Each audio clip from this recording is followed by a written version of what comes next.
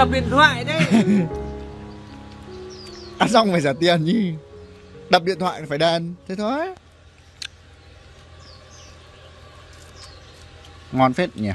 Bưởi không mất Bưởi không mất tiền mà khác ngon phết này khác thèm quả này đắng lắm? Đắng à? Em bổ vào cái rồi. Chú chỉ, chỉ điểm ngoài này Đây. Ui ôi ôi ôi Này. Bắt quả trên này. Quả này héo à ấy Bắt quả trên này là rành ốm đấy. Ở trên này nó không cho ăn được đâu. Bưởi này là bưởi cảnh đấy. Nhân là ăn khỏe nhất. Phê. Khỏe nhất tem. Bất hết.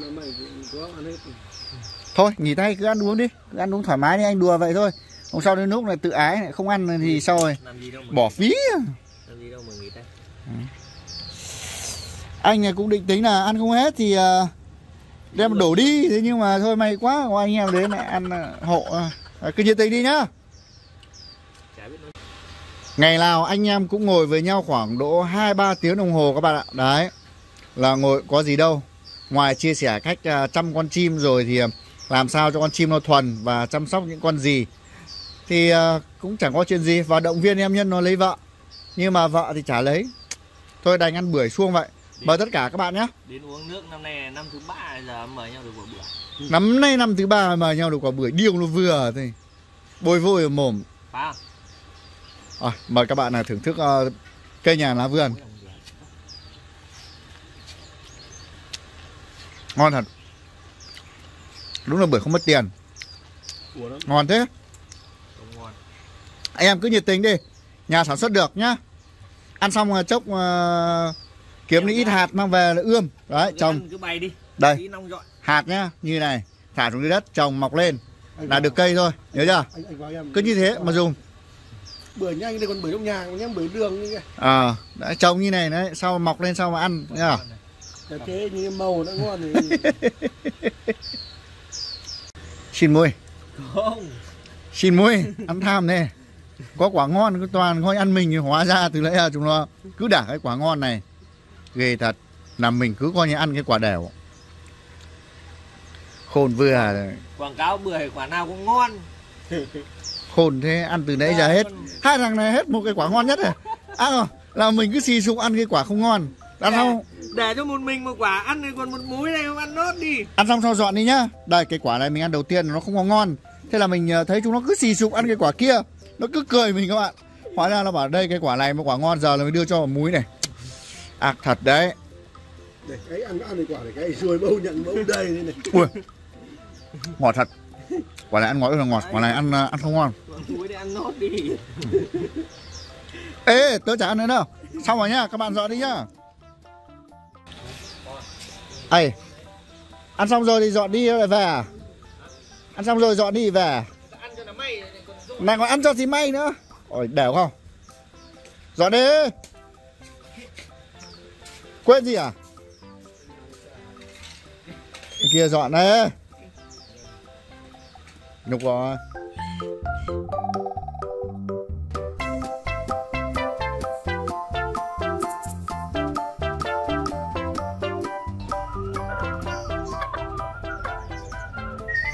Em, Làm về à Chúng nó ở nhà chúng ăn hết bữa của em rồi. Để chúng nó ăn xong nó bắt anh dọn này này. Nó không dọn này thì nó ăn xong bắt nó bỏ về luôn. Anh nghiệp nó bảo là may quá có quả bưởi đỡ tốn cơm ở nhà nó. Khổ không? À gì nhỉ? Có khả năng là em à, tắm cho anh à, con bâu với con à, kem cái nhỉ chả đốt chín cây đã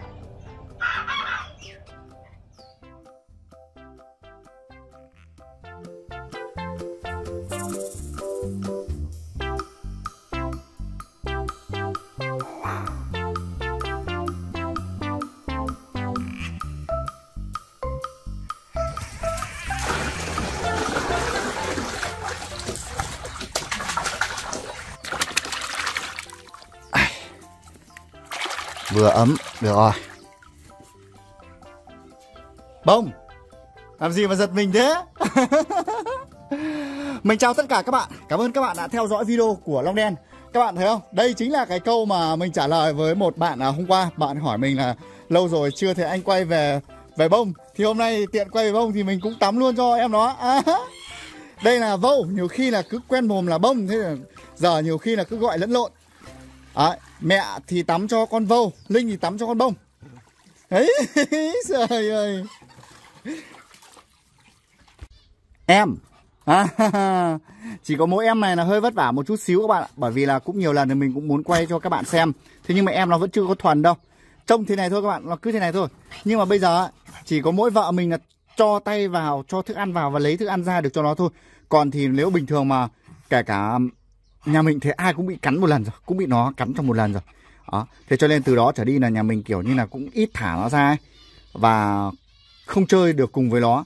Thành ra nhiều nhiều lúc muốn tắm cho nó lắm đấy các bạn, nhưng mà nó không nghe lời đâu. Chỉ cần sòng ra một cái thôi là nó chạy kinh khủng lắm. Thế là em nó thiệt thòi hơn một chút xíu. Cả nếu mà chủ có xem được thì cũng phải thông cảm cho mình, bởi vì là à vì em nó vẫn giữ lắm. Cứ ngoài đuôi thế thôi, thò tay vào phát cắn luôn. Bên ngoài kiểu như bên ngoài thì cười thế thôi, nhưng mà Đọc ngay. Buồn nha.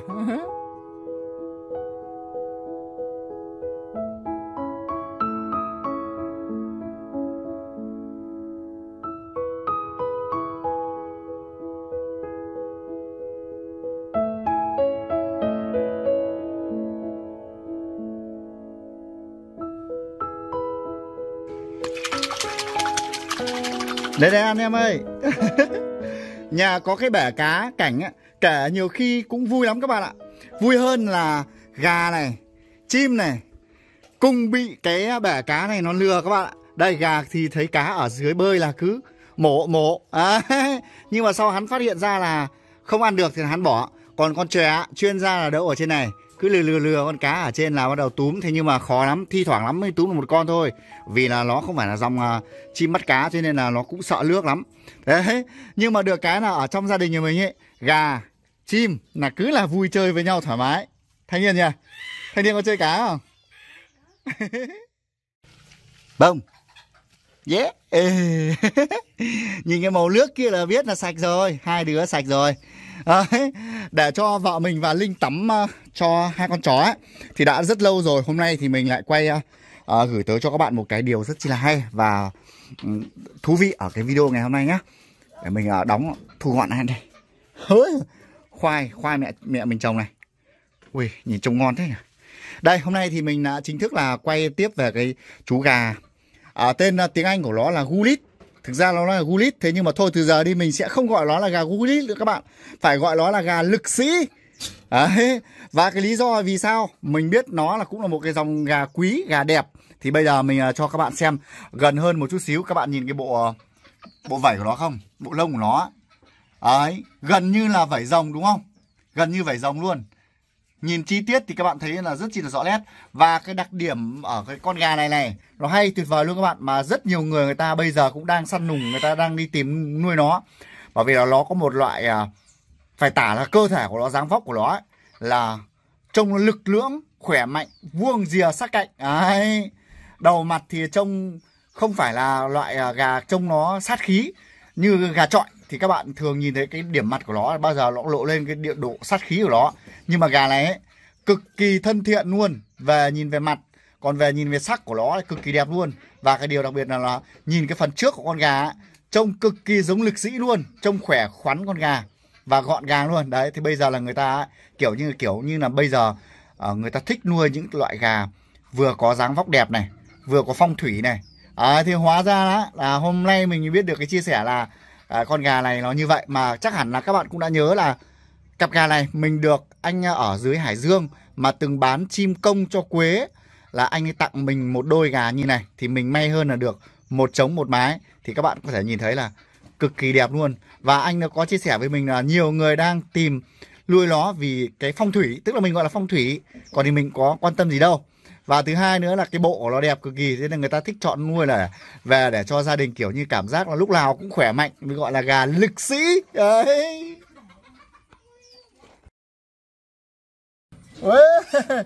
Mình phải mang ra tận ngoài này, cho các bạn xem này. Nó tròn lông lốc luôn này. Đây, hai tay mình này. Tròn đúng theo một cái hình tròn luôn đấy một hình tròn. Mà các bạn có thể nhìn thấy một cái à, cái màu lông của nó ra ngoài ánh sáng là mình thấy đẹp kinh khủng như nào này.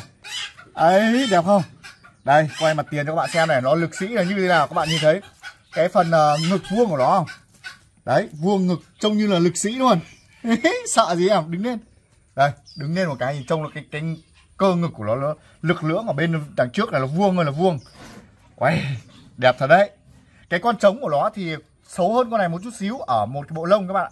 Thế nhưng con mình nhìn bộ lông con này, trông giống như là đều tăm tắp luôn. Quay đúng là hôm nay mình mới cảm nhận được là nó đẹp mê hồn như thế nào luôn đấy các bạn. Và đúng là gà lực sĩ luôn. Đứng lên em. Mạnh dạn đứng lên. Sợ. Ui, các bạn nhìn thấy cái bộ phần phần ngực của nó trông có thấy rộng không? Đẹp đấy, nhìn trông xinh gái đấy. Đúng là đáng đồng tiền bắt gạo thật. Ôi nhìn trên ờ, màu lông của nó này. Óng ánh óng ánh, gặp ánh nắng trên màn hình của các bạn, không biết nhìn thấy rõ không? Nhưng mà trông như những cái chiếc vảy ờ, của cái con ờ, con công. Nếu mà chính xác là trông như kiểu con công thì nó đúng hơn đấy các bạn. Ấy, quay đây em, quay đây. Quay mọi người xem. Mà cực kỳ hiền luôn nhá đấy nhìn này các bạn, nhìn này. Đều nhau tăm tắp luôn. Được được được được. Đấy. Ở đây chơi nhá. Còn con trống thì nó ở trong kia các bạn kìa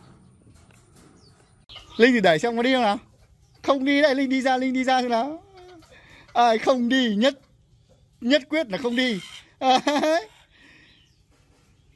à, linh thì đủ đi một tí nào. À, không đi thế nhưng mà các bạn nhìn đây này. Rồi đi về nhá. Đấy ở ngoài sân là là không có đi đâu thế nhưng các bạn tin không? Nhìn này đi về đây cái này. Ấy đi thoát thoát nghe. Đấy thế mới hay, hay. chân không thật là không có đi đâu. Đấy tức là bạn này là bạn này chơi với hàng chân thật chứ không chơi với hàng chân giả được. Đấy. Đấy các bạn nhìn này ngực đằng trước con gà cả hai con. Rộng kinh khủng luôn. Đúng là mệnh danh là gà lực sĩ thật. Quá tuyệt vời. Mình cố gắng làm sao ấy là chờ trông chờ nó sinh sản. À, cũng như là gà bắc tít như mình cũng đã nói ở video qua. Mình cố gắng mình nhân giống thật nhiều những cái con loại gà đẹp gà chất lượng để gửi tới cho tất cả các bạn là cùng yêu thích à, chăm sóc động vật để có thêm được à, những con à, vật trong gia đình của nhà các bạn nhé. Đi đâu rồi? Con chở mình lại chạy đi đâu mất rồi? Chắc bị gà táng cho dỗi đi rồi. Đi đâu mất rồi? Dỗi rồi. Trẻ ơi! Ờ, cho nó vài con không nó lại cướp mất cá của mình thì chết. Đâu rồi trời? Thổi vài giọng sáo là về ngay giờ mà. Khô nắm. Uh. đi đâu rồi? Dỗi rồi. Dỗi hai con gà rồi. Vừa ở đây xong mà. Động tí cái là hờn dỗi ngay. Thế mới hay gì cá ăn của anh Long thì chả sao đâu. Quát một cái là dỗi ngay ở nhà mình nếu mà để mà nói có khả năng ấy là con rồng Nam Mỹ này là uh, sướng nhất. Đấy ở gần đây này đói thì không biết đằng kêu đâu. Cứ chạy ngược chạy xuôi lộn lên này lộn xuống. Nhưng mà sướng nhất là có nhà xịn này lại bên cạnh là có toàn hoa đẹp thôi. Này ra đây ăn em. Ấy sở lúc đòi ăn thì thì đòi bằng được lúc cho ăn thì lại dỗi rồi đấy. Được cái dỗi giống giống người. Ra đây ăn đi. Này dỗi tí lại xuống giờ đấy nói có sai đâu dỗi đều nhỉ dỗi thế ai chả dỗi được. Ăn đi. À, nhiều các bạn bảo mình bảo là anh cho ăn rau muống ấy thì nó ăn sẽ khỏe hơn. Thế nhưng mà thực tế là con rồng à, lam mí này của nhà mình ấy nó không thèm ăn rau muống đâu. Nó chỉ ăn mỗi cái rau cà rốt này. À mấy lại um, cái à, rau diếp cá này thôi. Thế thôi. Ngoài ra là những cái thứ khác là có ăn nhưng mà ăn ít lắm. Hay thật đấy.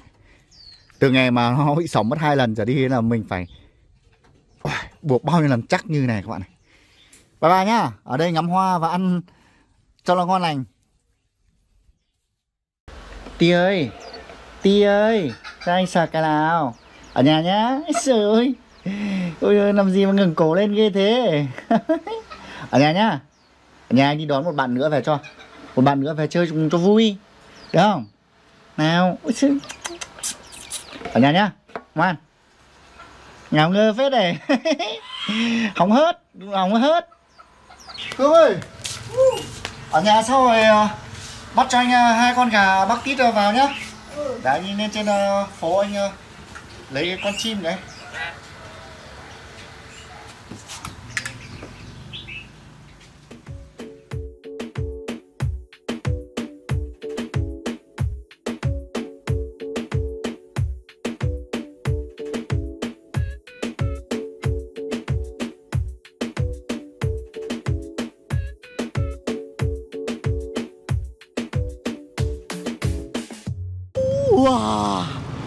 Mình cũng không nhớ là bao nhiêu lâu rồi mình chưa đi lên trên phố. Uầy, Ông tượng quê mình vẫn cứ đẹp trai lắm các bạn ạ. Ái sai May quá Gặp đúng đèn xanh Đi thẳng luôn.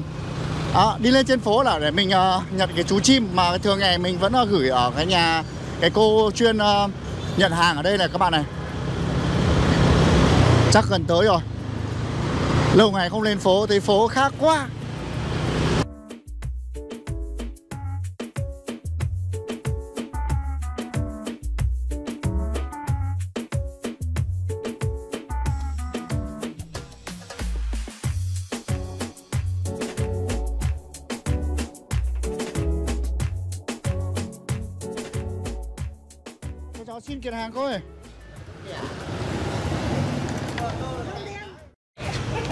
Cháu đố cô biết con gì đây? Nó kêu cạch cạch cạch cạch. Nó kêu cạch cạch à? Ờ, Con chim đây gọi chim thì sao nó không kêu tiếng chim? Thế mình, ghê gì nhiều loại chim chứ. Đâu bây giờ tháo kiểu ở, ở đây bằng gì? Nó là con chim nó thực ra mình quen mồm gọi là con chim sâu thôi. Thế thì có tành tạch cái gì? Nó tạch tạch khác Chim khuyên. Ô Đấy. con đẹp. Em ơi! Nghỉ đây Tết rồi. Nghỉ đây. Đấy. Về tới đầu làng một cái À đầu nhà một cái là vô đã ra đón ngay ở cổng rồi. Ghê chưa ghê chưa? Quát ghê chưa? Với tinh thần vượt nắng thắng mưa say sưa tốc độ, với tốc độ 30 phút 42 giây và mình đã trở về nhà an toàn mang em nó về. Nhưng mà được cái Nó quát gớm ghê lắm các bạn ạ. Bây giờ để mình ờ, tháo em nó ra nhé các bạn nhé. Ấy chà chà.